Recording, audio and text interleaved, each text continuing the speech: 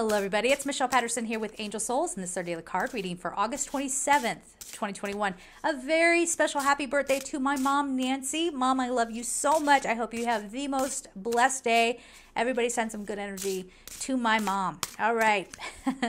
Let's see what we have going on for today. I keep hearing resourcefulness, resourcefulness, resourcefulness. You know, if we're going to be self preserving beings, we need to start taking care of things on our own and only working with others. You know, I want to be careful on how I say this because I don't want everybody thinking like I can't trust anybody. You know, again, we learn our lessons through one another, but there's this big thing here where it's like we're leaning or we're waiting too much for guidance from other people who may not know what they're talking about. I don't know. I'm, I'm feeling an example of like some people are like, well, I got to wait for my husband to tell me that it's okay to do this. Or you're single and you're like, well, there's something I'm kind of hung up on and I'm just waiting to see what they want to do. I'm waiting to see if they ever contact me again. Move on. Oh, ouch. Ooh, what now? Huh? Move on. Honor your soul's contract. Clear that away. All right? We do not need to be beholden to other people to give us permission to live. All right, let's get a card. Remember how people, because they're saying this too, remember there's this pattern here of humans trying to feel superior to one another. Okay, and so, so someone's always trying to knock somebody else down or saying, You owe me something. How dare you go off and live your life without my permission? Oh my God.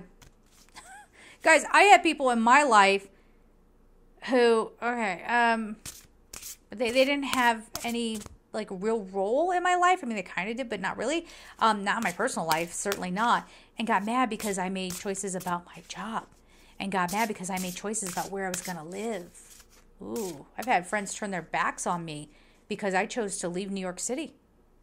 How dumb! You could have had a place to stay in Colorado. That's okay. They weren't real friends anyway. At the end of the day. All right, transition. This is exactly it. You're jumping over what is expected. You're moving away from people who have, you know, their claws in you and saying, you will live by my expectations of you and by my viewpoint of you. And you can't do things without my permission. Look around your life. Who has control over you? And for some of you, you might say, well, it is a spouse or it's my children. My children, my grown children have so much control over me because they think I'm too old to handle anything. Or, uh, you know, a boss, something like that you know, you are in charge of your soul's contract and your being. Okay. So I'm not encouraging people to not collaborate with one another. Okay. Or to not take your spouse into consideration. People are all over the place. I mean, it's a spectrum here. Okay. I think I just smeared my eye makeup, which is bad because it's really dark. oh dear. Okay. Anyway, whatever. Uh, I'm not encouraging people then to get so self centered that you're just not taking anybody else. To, the whole thing is balancing, considering yourself and considering others, and see where the harmony can come in. We need to transition into that because that's not where we are right now. Okay, uh, it's a whole lot of. Uh, I'm hearing panic. So people are panic. They're getting themselves into these situations. They're panicking. Mm. Yeah. Okay. So people are going to be panicking because of what they're seeing in the world. And a lot of spiritual practitioners have picked up on this stuff. We're all kind of tapped in and getting, you know, it, it, it, we're getting the messages, but it filters through our individual ego consciousness and the way we put it. That's why, you know, I've told people in the past if you don't resonate with what I'm saying, that's okay. It's okay. I'm not your messenger. I've had people get really offended. Did you hear what she just said? She just said I'm not. She's not my messenger. really, even that you're going to take personally? Wow. Um, but what I'm getting at here is you know, I'm communicating in a way that will ping off of people that need to hear it in this way, right? So maybe you need to hear it from somebody else too, but you're going to be hearing that same kind of message where we need to be, um, oh God, guys, it's about connection. I'm getting a message about connection, but connection in a healthy way. So see how the, some of the messages have been like, okay, let's disconnect from this health, uh, excuse me, unhealthy uh, control. I feel superior. I'm the alpha. I run you and not overcorrecting and going, you know, you want to be resourceful, you want to take accountability for yourself, but I'm not saying not to collaborate. So I've made that clear, right? Okay. So we want to get back into this place of connection. Why this is a little uh, rough right now and why we need to kind of transition into a way of figuring out how to do that better. If you have ever, let's say, online dated, how many times have you seen somebody say, I'm just looking for something casual?